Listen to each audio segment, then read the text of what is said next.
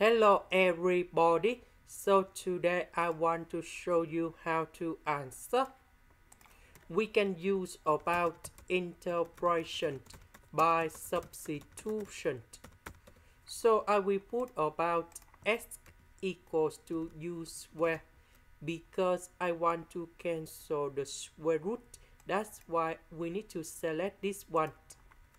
Later that we need to do first derivative for the both side and we have like this.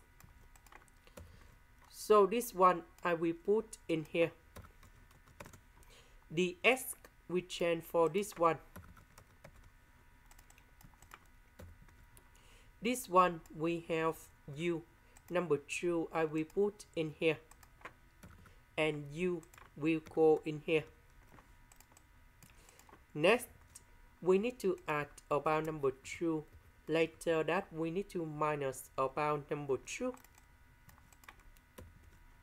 so this one divide by this one we have number 1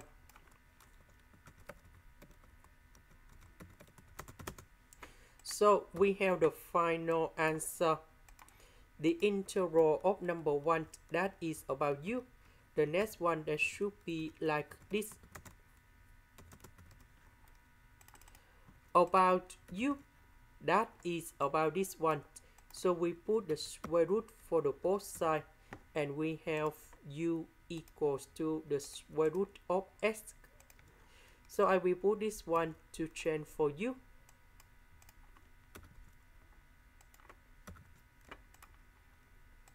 This is the end. Thank you for watching